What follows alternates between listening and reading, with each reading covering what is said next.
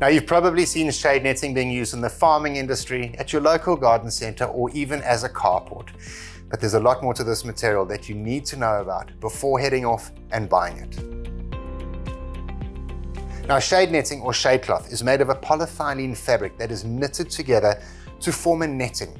Now polyethylene is used as it is good at deflecting both heat and light, yet it's able to stand up to permanent exposure to the elements as it is UV resistant. Now shade cloth is also very strong for its weight and it will not unravel if torn or cut. Now shade netting density is rated in a percentage from 20% up to 80%. The higher the percentage, the more sunlight is being blocked. So a shade cloth with a 20% density blocks 20% of sunlight, while a shade cloth with 80%, you guess it, blocks 80% of the light. The common colors are green and black. Now shade cloth does allow the rain to penetrate, especially on the lower percentage numbers, and it protects whatever is underneath from hail as well. Now if you're using shade cloth over plants, you'd need to know what plants require what percentage of shade. Shade cloth prevents sunburn to the plants, so it goes without saying that plants that grow in a heavily forested area need a higher percentage. Now, if you're putting up a carport, then an 80, 90% would be enough. Think of it as sunglasses for your car. Now, installing shade cloth is a walk in the park. It's lightweight, pliable, it cuts easily with a pair of scissors or utility knife. And hanging shade cloth is just as simple. I'd highly suggest you get some small cable ties. In fact, I'm busy doing some very early setup work on a veggie garden. Let me show you how I'm installing it. So these gum poles have already been cemented in and the straining wires have been pulled tight across the sides and the roof. We've pre-installed two sides and half the roof. Let me show you how easy it is on the other sides. Now start by hanging your shade cloth along the top of whatever you're attaching to, in this case, the wire. Then every 30 to 40 centimeters or so, wrap a cable tie around the wire, pull it through the shade cloth and zip it tight.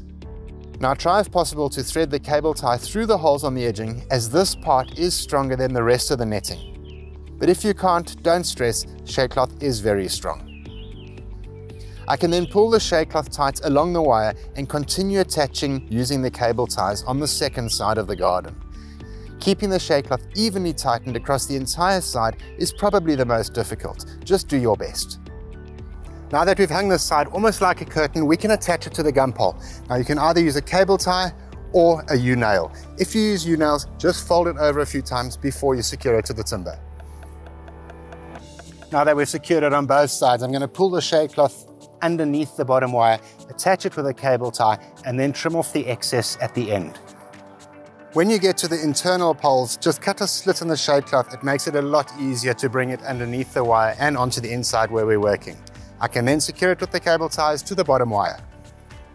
Notice here how I have threaded the cable tie a few centimeters above the wire.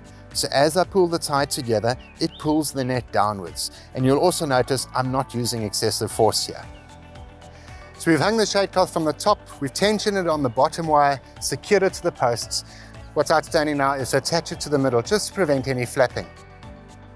Now a handy tip here, if you don't have anyone on the other side of the shade cloth to pass the end of the cable tie back to you, is just to fold the end, give it a good squeeze with a pair of pliers, push it through, and when you pull it back, the end will come through underneath the wire.